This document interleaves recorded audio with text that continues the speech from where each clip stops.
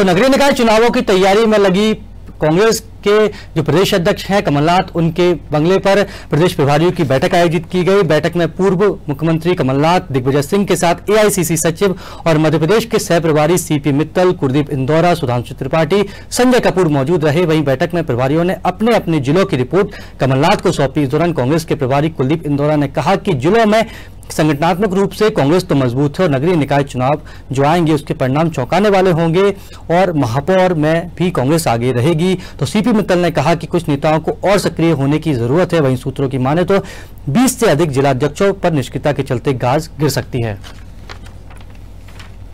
Committee के अध्यक्ष के साथ सभी चारों सचिव जो थे, उन्होंने अपने अपने जिलों के प्रभार में काम करा है।